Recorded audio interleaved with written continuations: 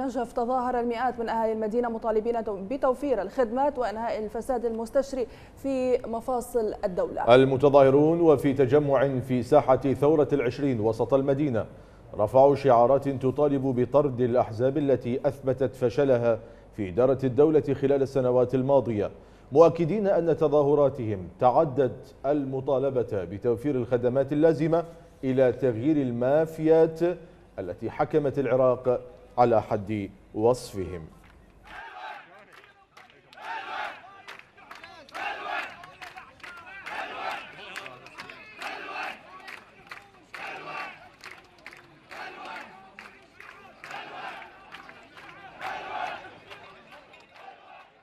لازم يتحاسبون. مو شغلة ماي وكهرباء. اريد حكومه 2014 تتحاسب ضيعوا ابني بسبايكر ضيعوا ابني بسبايكر الله يضيعهم إن شاء الله وما يخلي لهم سمعة لازم يتحاسبون واحد واحد.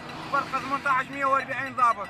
ملف العسكري لازم ينعاد وينعاد التحقيق فيه خاصة 2014 الحكومة لازم تتحاسب والشعب يحاسبه. شكرا للمرجعية على وقفته ويانا ومظلوميتنا.